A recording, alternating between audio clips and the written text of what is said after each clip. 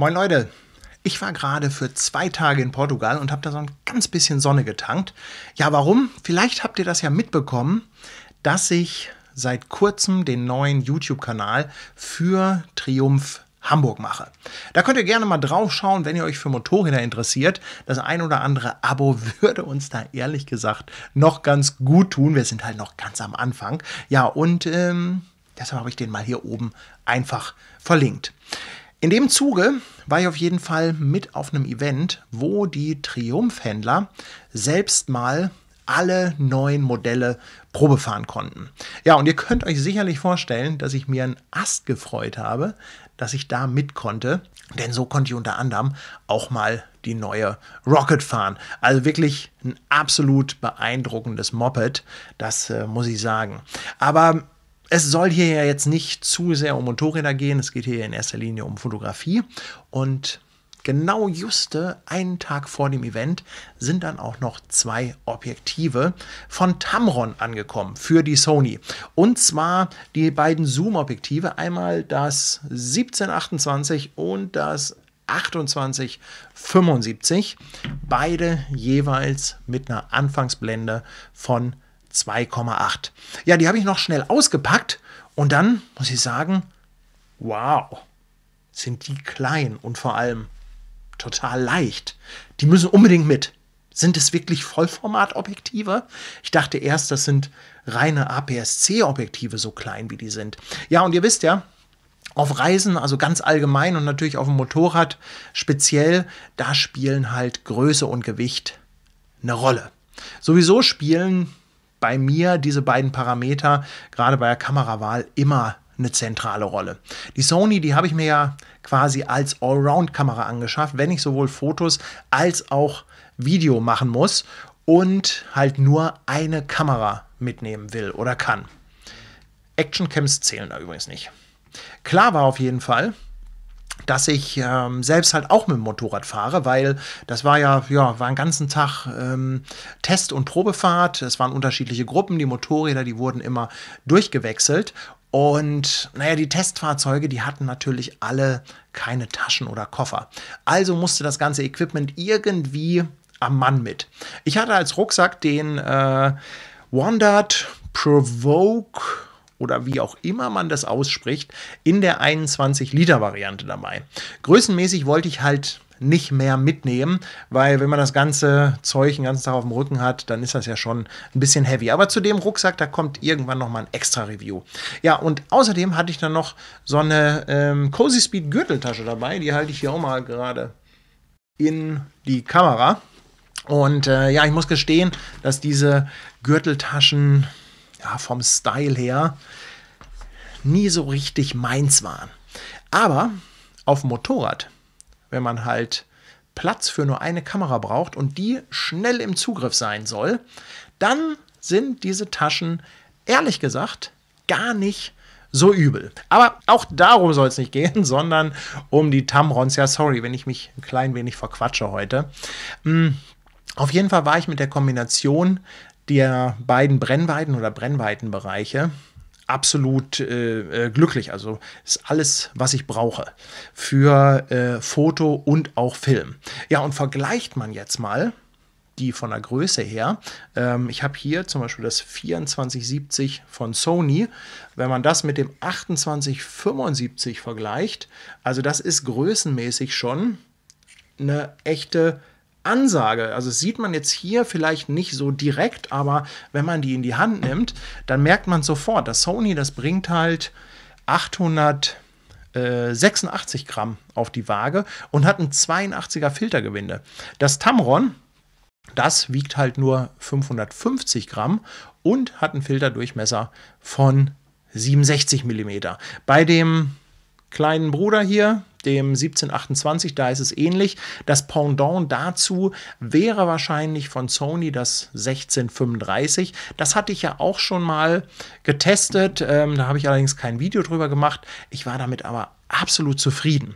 Ja, also das 1635, ein mega Objektiv, aber auch kein Leichtgewicht. Das wiegt halt 680 Gramm und das Tamron dagegen nur 420 Gramm. Filterdurchmesser wieder ähnlich, 82 beim Sony und 67 beim Tamron. Ja, nun könnte man meinen, ach ey, scheiß doch auf die paar hundert Gramm, das merkst du doch nicht, das macht den Kohl nicht fett. Doch, das macht den Kohl fett. Vor allem in der Summe dieser beiden Objektive und halt in Kombination mit der Größe. Das Sony, das 2470 hier zum Beispiel, das muss ich in den Rucksack legen. Das Tamron dagegen, das kann ich reinstellen von der Länge her. Naja, alles hat natürlich auch seine Schattenseiten. Wenig Gewicht heißt natürlich deutlich mehr Plastik bei den Tamrons. Die fühlen sich daher auch nicht ganz so wertig an wie die Sonys, aber es ist immer noch okay. Also gerade wenn man hier dreht und zoomt und macht, also das, das fühlt sich schon alles ganz ordentlich an, ist aber trotzdem, muss man gestehen, eine andere Liga als so ein Sony G-Master. Ja, und dieser verhältnismäßig kleine Filterdurchmesser, der hat mich da ein bisschen stutzig gemacht, weil ich kenne das auch von früher, die ganzen, die ganzen Nikon-Objektive, die ich hatte für Vollformat, 2470 und so, die hatten alle immer so einen 770er Filterdurchmesser, einige 72, äh, Sony hat sogar hier viel 82er und dann kommen die bei Tamron auf einmal mit 67 mm um die Ecke. Und das legte dann schon irgendwie die Vermutung nahe, ja, dass die Objektive zumindest im Weitwinkelbereich irgendwie vielleicht ein bisschen stärker vignettieren. Ähm, ja, und ich würde sagen, wir schauen uns daher jetzt einfach mal so ein paar Bilder an, die ich auf dem Event gemacht habe. Ja, fangen wir mal mit dem 17 bis 28 an. Und das ist natürlich die Drama Queen, ja. Gerade bei den Motorradaufnahmen hier, wenn man nah rangeht und ähm, dann nach hinten so viel Hintergrund mit drauf hat, ja, das knallt schon. Also hier bei der Tiger, da hatte ich auch nicht so wahnsinnig viel Platz. Die haben wir also da auf, äh, ja, hier auf so einen, so einen Felsen gekarrt mit, äh, mit zwei, drei Mann. Also das war schon von der Location her äh, abgefahren. Aber da war ich auch ganz froh, dass ich halt diese 17 bis 28 hatte. Ja, und bei diesem Bild hier, das, äh, das habe ich hier mal in einer unbearbeiteten Version. Da sieht man auch ganz schön, dass da doch einiges an Vignette vorhanden ist. Also hier in der Ecke, wenn man da mal schaut. Vignette kann man übrigens wunderbar auch äh, sichtbar machen, indem man ein Bild in Schwarz-Weiß umwandelt und dann den Kontrast mal richtig hochzieht. Und dann sieht man schon, was hier also wirklich an Vignette vorhanden ist. Ja, und das kann man natürlich korrigieren. Lightroom hat jetzt auch schon hier für Profilkorrektur. Wenn ich die aktiviere, dann wird das Objektiv automatisch erkannt. Und ihr seht, da wird halt einiges rausgerechnet an Vignette und auch an Verzeichnung. Ich gehe nochmal hier in das Original und schalte mal ein und aus. Ich muss gestehen, mir ist das ja fast schon ein bisschen zu viel Korrektur. Also natürlich hier mm, bei der Geometrie, da kann das natürlich schon mal sein, dass das im Zentrum Sinn macht, gerade mit Linien. Aber ich muss sagen, ich bin ja eigentlich auch ein Freund von Vignette. Also, äh, was ich dann immer mache, ist, ich mache hier die Profilkorrektur rein und dann gehe ich nachher in die Effekte und knall wieder nachträglich eine Vignette dazu. Ja, also wie man das macht, bleibt natürlich jedem selbst überlassen, aber das wollte ich auf jeden Fall einmal zeigen. Vignette ist natürlich vorhanden. Ja, von einem Bokeh-Monster kann man in diesem Brennweitenbereich natürlich nicht sprechen. Also obwohl der Hintergrund hier so weit ähm, weg ist, ist da halt nicht so wahnsinnig viel Unschärfe vorhanden. Ja, weil wenn man da, also gerade bei solchen Bildern, dann so einen richtig fetten Unschärfe-Look haben will, da wäre natürlich so ein 24 mm mit Blende 1.4 deutlich besser. Ja, oder vielleicht sogar äh, dieses neue 20 mm 1.8 was es von Sony seit, äh, seit kurzem gibt. Das habe ich allerdings bis jetzt noch nicht in die Finger bekommen müsste ich mich mal drum kümmern. Man kann sich also bei diesem Objektiv auch nicht darauf verlassen, dass man den Hintergrund einfach äh, ja, wegballert. Also da muss schon irgendwie so ein äh, Minimum an Bildaufbau her. Ja, hier mal ein Bild von der Rocket, also wirklich beeindruckendes Moped, aber ich will da nicht zu viel drüber reden. Ähm, hier sieht man natürlich, wenn man nah rangeht, das ist 17 mm, relativ, äh, relativ weit unten fotografiert. Ja, das Rad wird natürlich richtig groß dabei. Mag natürlich nicht jeder. Ich persönlich finde das ganz cool, weil wie gesagt, das ist natürlich so ein bisschen hier Drama Queen. So, dann hier mit dem Philipp. Da haben wir da, da, da. Hier dann nochmal die äh, Thruxton. Hier habe ich, ähm, hier hatten wir auch unheimlich wenig Platz. Also die Thruxton, die haben wir hier auf, äh, auch an so, einen, an so einen Abgrund gestellt. Und ähm, naja, hier war halt dahinter dann so ein Schotterweg, den sieht man hier links an der Seite. Also auch wieder wenig Platz. Und ja, da hat natürlich das 17, hier 17 mm, hier 28 mm, hat da natürlich schon so ein bisschen seine Stärken ausgespielt. Ja, diese Street Triple, ja, Street Triple war es, die wir hier noch hatten. Das ist jetzt nicht so unbedingt meine Gattung von Motorrad, aber die haben wir dann hier auf so ein Holzpodest gestellt. Und ich muss sagen, das kam dann schon echt richtig gut. Also hier diese tiefe Position, dann mit den Linien von diesem Holzpodest. Also da sieht man halt wirklich, was das äh, 17 28 kann. Ja, hier nochmal, also da haben wir eine ganze Serie von fotografiert. Alles so, seht ihr jetzt hier, 18 mm. Also schon echt cool. Also, und ich muss sagen, hey, wenn man nichts mit Motorrädern zu tun hat, dann äh, ist es doch trotzdem ganz geil, oder? Naja, okay, aber kommen wir jetzt mal zu dem 28 75, was ja im Grunde genommen das Pendant ist zu einem 2470er. Warum Tamron diese Brennweitenbereiche gewählt hat, weiß ich ehrlich gesagt nicht genau. Vielleicht hat das auch ein bisschen was mit der Größe zu tun, aber ich würde es einfach mal vergleichbar zu einem 2470er setzen. Ja, und diese 2470er Objektive, ah, das waren irgendwie nie so richtig meine. Also ich mochte sie nie besonders gerne. Also es war nicht so, dass ich sie schlecht fand, aber es war auch nie so, dass ich die total abgefeiert habe, weil diese Objektive halt irgendwie auch nichts so richtig gut können. Die sind halt irgendwie ja, für faule Leute oder um es einfach ein bisschen positiver auszudrücken, sind halt für alle, die einen Allrounder suchen für genau diesen Anwendungsfall, den ich hier hatte, mit Reise, Moped und so weiter, Film als auch Foto, ähm, es, es war perfekt. Also ich muss wirklich sagen, 28 bis 75 Millimeter hat hier einen so riesigen Bereich abgedeckt, dass man hier wirklich äh, von einem absoluten Allrounder sprechen kann. Ja, gucken wir uns da doch auch mal ein paar Bilder an. Ähm, unterschiedliche Brennweiten. Ja, hier seht ihr, wie die Jungs die Tiger da an den Abgrund gestellt haben. Dann, äh, ja, hier ist es 42 mm. So, und da steht sie da am Abgrund hier, das ist 75 mm und aus etwa der gleichen Position haben wir dann hier 28 mm. Ja, und da sieht man schon, also das ist schon ganz cool, was man damit machen kann, ohne dass man großartig seinen Hintern von der Stelle bewegt.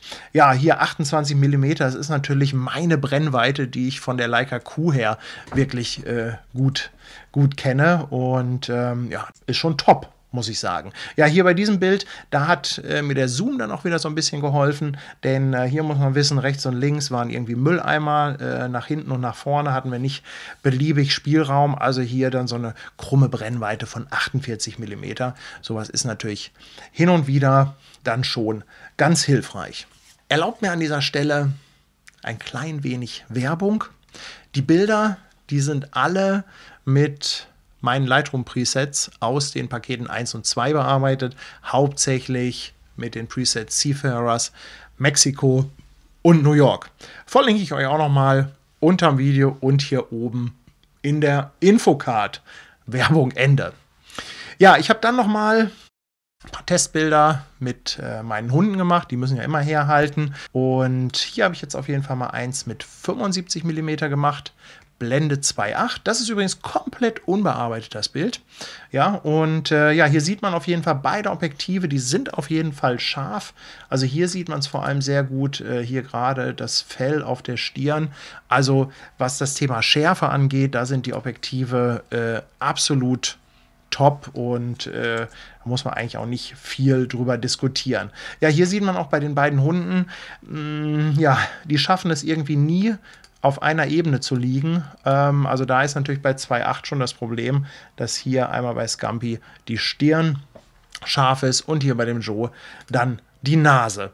Und ja, wenn wir uns mal das Bouquet angucken, so ein, äh, ja, bei Blende 2.8, da hat man natürlich jetzt nicht unbedingt so die Mega-Bokehs, aber das hier ist halt 75 mm 2.8 und ja, wir haben hier halt doch eine ganz angenehme Unschärfe.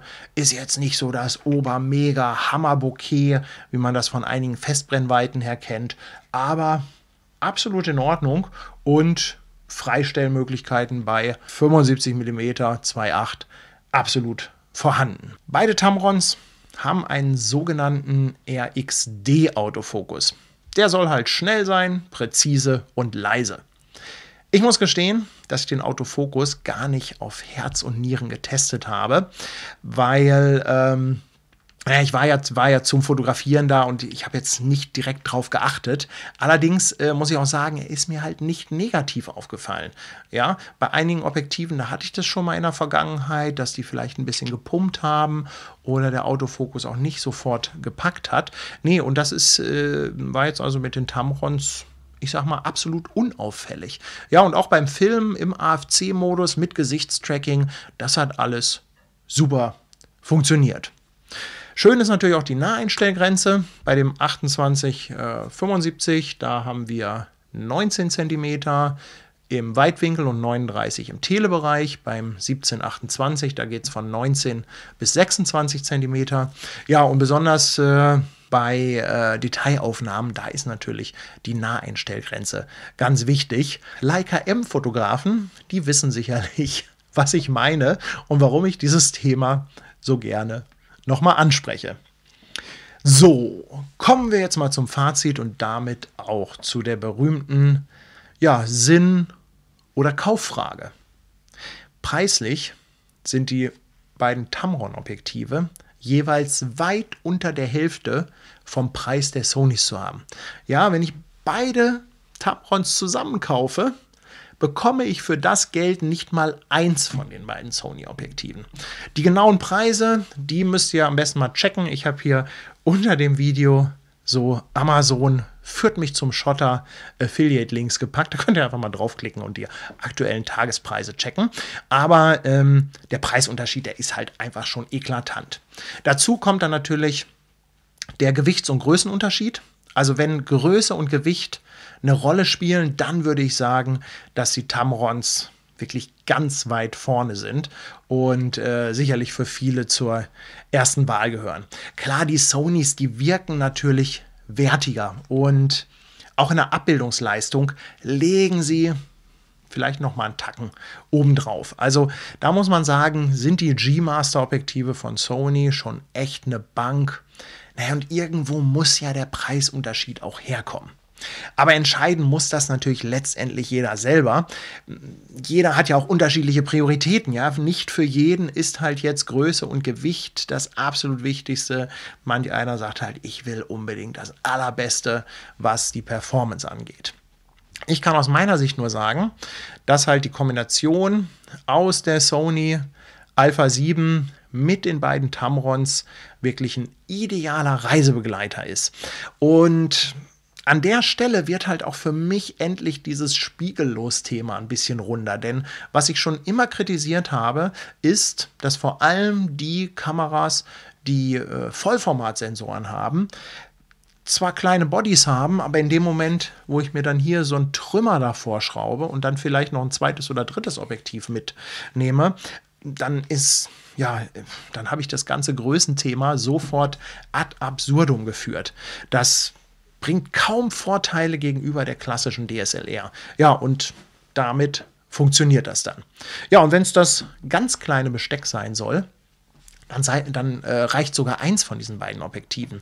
Also wer es halt ganz mega allround haben will, der greift hier zu dem 2875. Ich persönlich bin halt ein Fan von dem 1728, was aber halt einfach auch damit zusammenhängt, dass ich äh, sehr, sehr gerne nah rangehe an meine Motive. Ja, und wenn man die Kamera dann wirklich nur mit einem dieser Objektive hat, dann kann man auch hier so ein nettes Gürteltäschchen einfach nur mitnehmen. Und ja, so beim Thema Motorradfahren muss ich sagen, ist das gar keine schlechte Kombination. Ja, Leute, wir sind am Ende angekommen. Wie immer freue ich mich natürlich äh, über euer Feedback Ihr wisst, Rumgemotze und hirnloses Getrolle, das wird kommentarlos gelöscht. gelöscht. Und äh, ja, falls noch nicht geschehen, dann lasst doch gerne mal ein Abo da und like das Video. Das ist halt ähm, der digitale Applaus für die YouTuber. Ich danke euch auf jeden Fall fürs Zuschauen. Bis zum nächsten Mal hier auf dem Hamburger Kanal für Fotografie. Tschüss Leute. Out in stormy weather, I might have the blues, but nothing ever stopped me from dusting off my shoes. You might think you'll see me falling to the ground, but I threw up my umbrella when rain stops hitting down.